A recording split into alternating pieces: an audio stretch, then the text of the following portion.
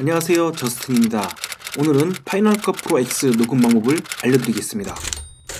그 전에 구독과 좋아요는 국가 경제 발전에 아니 저에게 아주 큰 힘이 됩니다.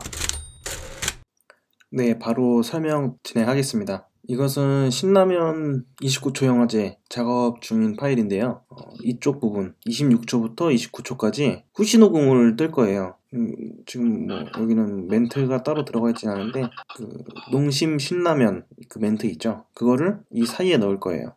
근데 뭐 이 프로그램 파이널 컷 프로로 작업을 해도 되고 다른 녹음 프로그램이 있으면 그 녹음 프로그램을 이용해서 작업을 해도 됩니다 하지만 조금 빠르고 간편하게 후시 녹음을 하기 위해서 파이널 컷 프로 X로 이용해 볼 건데요 어, 먼저 윈도우로 들어가셔서 윈도우에 record voiceover라고 있습니다. 뭐 단축키도 있지만 단축키 옵션, command 8. 뭐 단축키 쓸 일은 뭐 자주 쓰시면 몰라도 거의 뭐 저는 그냥 이쪽 들어가서 클릭을 하고요. 그러면 이런 식으로 목소리 부분이 올라옵니다. 아, 아, 아 마이크 테스트 하나 둘 셋 하나 둘 셋. 아이맥 같은 경우에는 그 모니터 하단 쪽에 마이크가 있어요. 모니터 하단 쪽으로 가까이 가면 갈수록 소리가 올라갑니다. 하나 둘 셋 하나 둘 셋 그리고 목소리 볼륨이라고 할 수 있죠. 인풋 볼륨 아, 아, 아 목소리가 적게 들어갈 거고요. 높게 하면 좀더큰 목소리가 들어갈 겁니다. 인풋 마이크인데요. 어, 저는 이제 내장 마이크 아이맥 내장 마이크를 쓰기 때문에 지금 이걸로 설정을 했고요.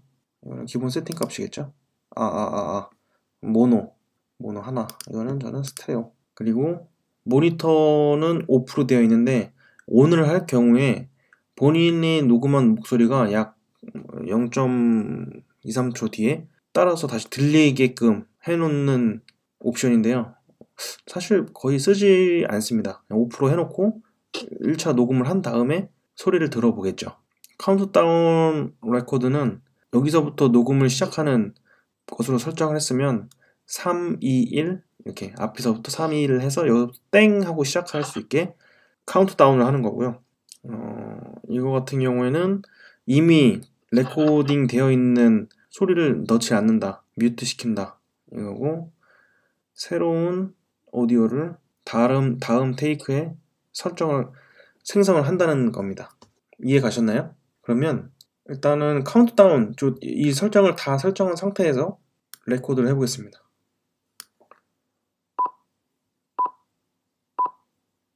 농심 신라면. 네 이렇게 녹음이 됐죠? 들어볼까요? 농심 신라면. 이렇게 녹음이 됐고요. 그러면 이번에는 다시 똑같은 위치에 놓고 카운트다운을 꺼볼게요. 바로 녹음이 되죠 그럼 아래쪽에? 이게 첫 번째? 두 번째. 아, 두 번째 거. 두 번째 거 선택해서 바로 녹음이 되죠? 이번에는 뮤트를 하지 말고 뮤트를 끄고. 농심신라면. 네, 세 번째 게 녹음되는데요. 한번 들어볼까요? 아마 여기 있는 이 소리가 같이 녹음됐을 거예요. 농심 신라면. 이해가시죠? 요 소리. 이게 녹음이 됐어요. 마지막. 농심 신라면. 네. 새로운 테이크에 녹음이 됐네요.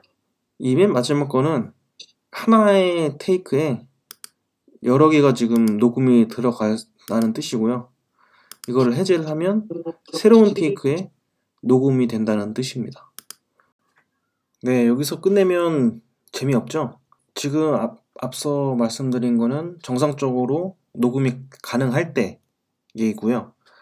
두 번째로는 그냥 처음에 설치를 하고 voice over를 클릭했을 때 record voice over를 클릭했을 때 이런 오디오 게이지가 안 나오는 경우가 있어요. 그 안 나오는 경우를 한번 보여드릴게요. 그리고 어떻게 해결하는지 보여드리겠습니다. 네, 파이널 컷을 다시 실행시키고요. 이번에는 오디오 게이지가 안 보일 거예요. voice over를 클릭하고 아아 아 하나 둘 셋 하나 둘 셋 보시면 오디오 게이지가 움직이지가 않죠 지금 목소리는 녹음되고 있는데 오디오 게이지가 보이지가 않습니다. 이런 경우는 파이널 컷을 새로 설치했을 때 어, 가끔 발생하는 증상이에요. 그러면 어디로 가느냐? 시스템 설정으로 가세요.